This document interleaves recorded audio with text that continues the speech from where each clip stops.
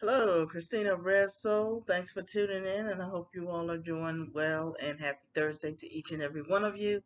Don't get, don't forget to like, subscribe to the video, and share it with your friends.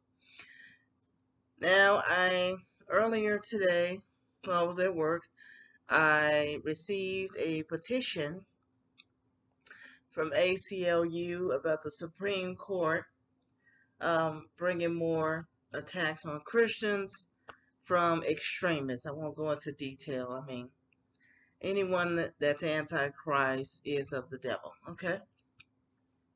So these people, it's not enough that the, you know, they succeeded with the removal of prayer out of schools, and um, as a result, there's violence against children. There has been violence against children and staff over the last two uh, years. I'm not saying it was, uh, or few years. Um, not saying it was deserved, but when you want to take God out of something, then He's gonna let go. Um, I mean, unless you're His people, even if a believer walks away, the Holy Spirit is still gonna be there. He'll turn His face away when you're doing something sinful. However, um, you know, he, he knows when to leave. So, since this country has decided to do these things, want to gear toward a secular society, except when September 11 happened, that then God had your attention. Um, it shouldn't have to take tragedy like that for us to stay on our knees. This nation will be a lot prosperous, and God will bless it a lot more he can show you better than he can than the song you sing at Yankee games or any other event. Because uh, I think, uh, yeah, New York, yeah, I, I believe, is the only um, Yankee Stadium is the only stadium that actually sings "God Bless America."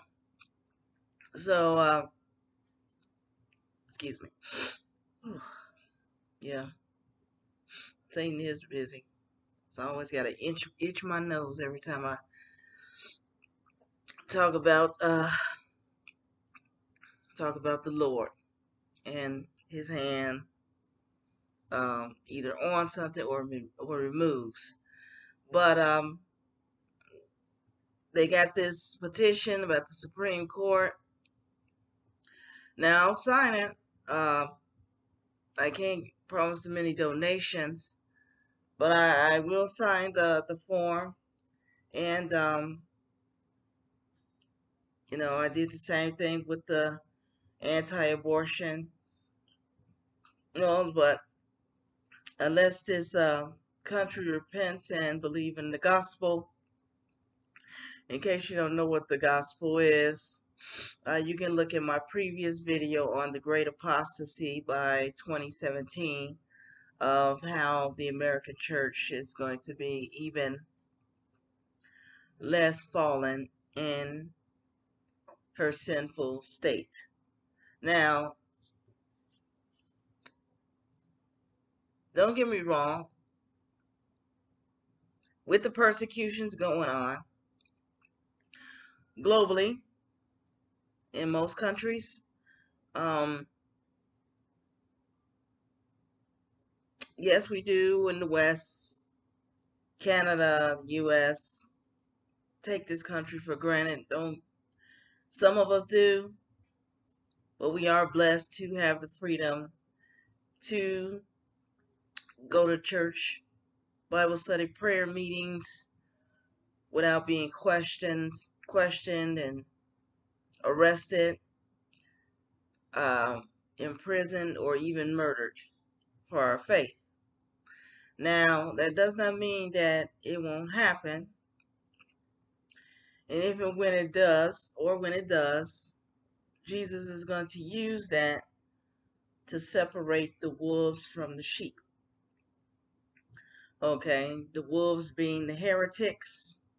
They talk all kind of Christian genre, but yet mm, when it comes to the complete gospel, sacrifice and going through the cross. I'm not just talking about um, people who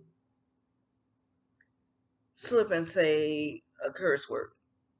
I was like, oh, you know, and, and question that person's salvation. That's not what I'm talking about. It's like the fruits. Um, or those of you who have a garden. Um, I'll use strawberries as an example. Mm, before you're, if you have squirrels, they may get to them first. But you have a strawberry, you plant the, the seed, and you don't know the result until it sprouts up. And say, okay, now we got fresh strawberries, tomatoes, anything. And some people will say the fruit of a tree. And a couple of uh, teachers on YouTube that I've um, listened to have given this example. Um, I'm going to use a different type of fruit. It's supposed to be a peach, peach tree, but yet it's an apple tree. And it's obvious you see peaches, you see apples hanging. What people insist is a peach tree. Okay, that's the type of falsehood and wolf I'm talking about. And sometimes they, they can really fool you with the Christian genres. I mean, there have been times I've, one case I reported a lady uh, who was going to become a member. Um, this was uh, when I was still in Chicago. And she found, found out she didn't believe in the deity of Christ. That Jesus is fully God and fully man. So I told one of the elders, and I didn't know that this was like what six months of knowing her. She was in the same evangelist slash missionary class as I was. She said Jesus. She said all the right genres, the gospel, so to speak. But when she denied that Jesus was God, or he is God, Another uh, example, a lady uh, that after work, sit in a diner with, ran across her after work, have lunch or take some lunch to go. And then um, after, I think, I think it took a year, found out she denied the deity. And she said just like people have a misunderstanding of the gospel and repentance, she said, Jesus is the Son of God, but she never wanted to admit that Jesus is God. So I flat out called her a heretic. And when I wanted to show her the proof of Christ's deity, she refused. Now, if she really wanted to know the Lord and wanted to be corrected, she wouldn't have denied what I showed her. But she was all sensitive, like, oh, because of what you call me. I said, okay, well, you didn't want to prove me wrong. It must be true then. I didn't tell her that. I just left the conversation at that. So, of course, uh, well, we, we don't have a relationship because I don't see her anymore. I don't go over there. So, then yeah, a, a believer can say the right things, or a so-called believer can say the right things. Now, there's a difference between a complete heretic and someone who's deceived. Like, for example, um, people who preach the gospel, uh, like the, the Lordship salvation gospel. Those people are deceived. I'm not going to question their salvation. Unless they say something heretical, like something against the Trinity or against the Holy Spirit. But they have a misunderstanding of what repentance is and they so they're adding to the gospel and scripture completely tells us not to do that so we can't as believers Give an example.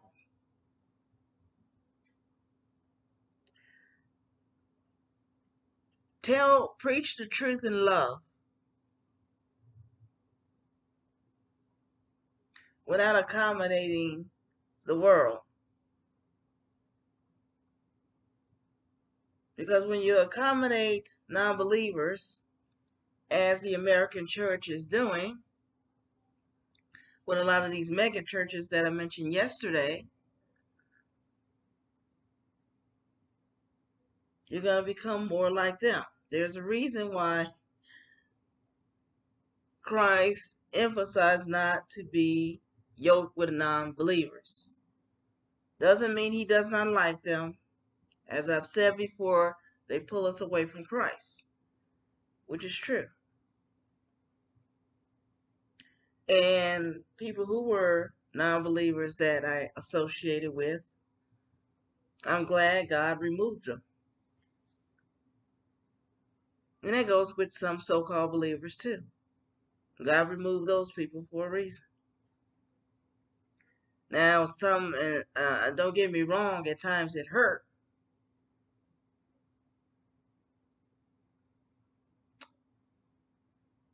But God's uh, man's rejection is God's protection.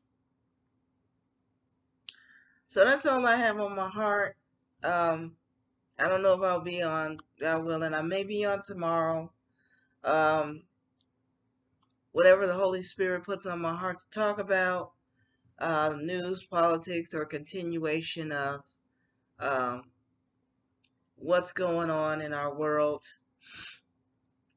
uh, and followers of and believers of the gospel.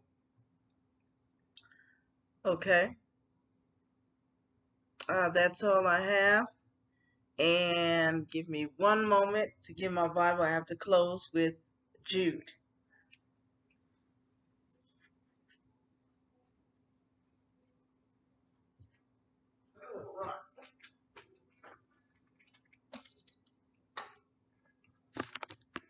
tell myself all right, it'll work out. I get used to doing this because this is a powerful this is a powerful prayer. Christina Red Soul, pray for our nation, pray for our brothers and sisters, and the persecuted church in prison with them. Doxology closed according to the book of Jude. Now to him who is able to keep you from stumbling and to present your blameless before the presence of his glory with great joy, to only God our Savior, through Jesus Christ our Lord, be glory, majesty, dominion, and authority before all time, now and forever. Amen.